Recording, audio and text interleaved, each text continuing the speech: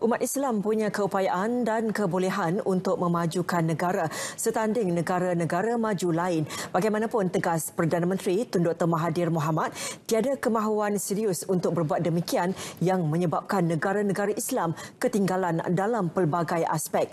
Atas dasar itu, Tun Dr. Mahathir kecewa apabila ada pihak yang menyalahkan agama Islam sebagai penghalang kemajuan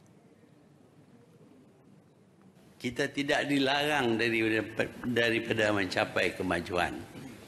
Saya yakin kalau kita betul-betul mengamati mengamali ajaran Islam, kita juga akan menjadi negara yang maju yang mampu memberi perlindungan kepada umat Islam.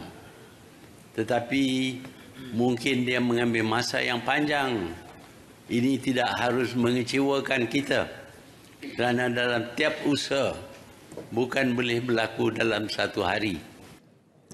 Tun Dr. Mahathir berucap sempena mesyuarat agung tahunan Pertubuhan Kebajikan Islam Malaysia Perkim Kebangsaan ke-58 di Petaling Jaya, Selangor. Jelas Perdana Menteri, tiada satu pun daripada 52 negara Islam di dunia yang ditakrifkan sebagai negara maju mengakibatkan negara-negara Islam mudah ditindas.